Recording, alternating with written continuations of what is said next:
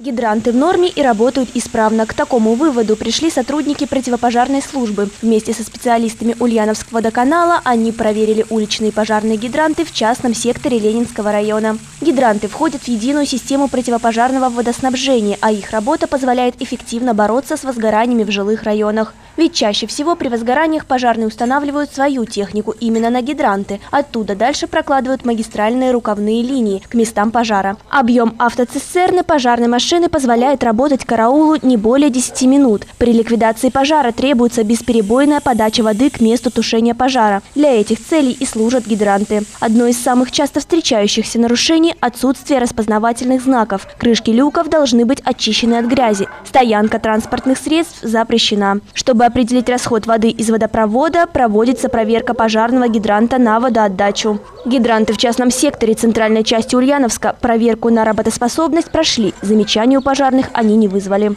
Дарья Сударева, Кристина Жакот. Новости Ульяновской правды.